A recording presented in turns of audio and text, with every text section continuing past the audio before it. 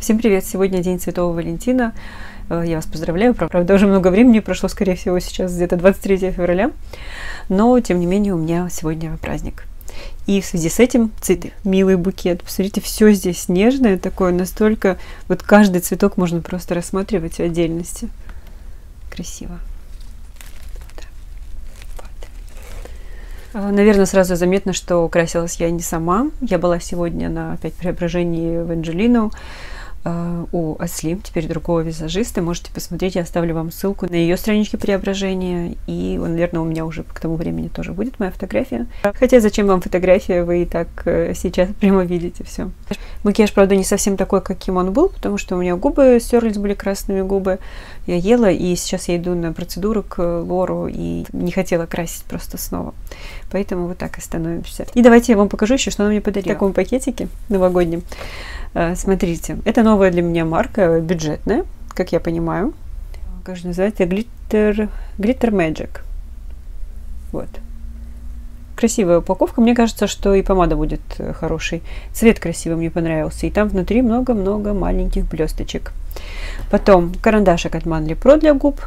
Вот, номер 106. Кстати, они очень вместе подходят. И еще, смотрите, какая красота. Вот такая балеринка. Это тинт.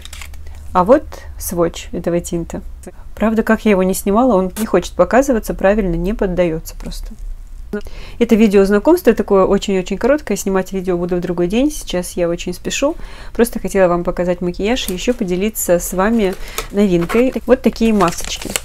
Вы помните, у меня были фольгированные патчи, отдельно были маски, а теперь вот такой набор они сделали. Очень интересно. Они все разные. У меня три маски. Вот одна. Вот вторая. И вот третья. Э, давайте я вам скажу, какая для чего. Это сияние и тонизирование, это упругость и ревитализация, а это смягчение и восстановление. После визажистов я всегда привожу кожу в порядок.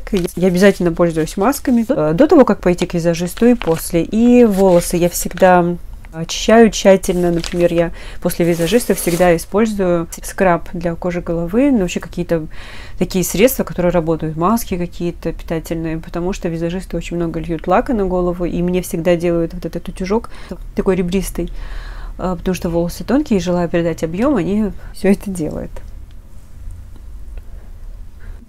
Придумала себе прическу, по-моему, вот так вот мне идет, смотрите. Я вообще объемные прически не люблю. Мне кажется, что это какая-то грива такая на голове. Я люблю, когда все так, все так гладенько.